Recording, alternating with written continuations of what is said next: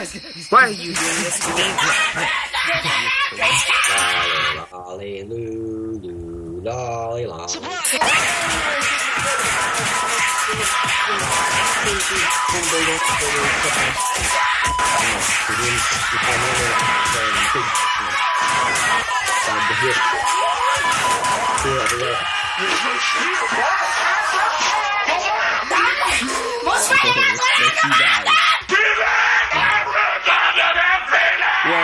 That is because I want $1 million, Mr. Slick. Everyone's dying. I wish I was blind. So, please.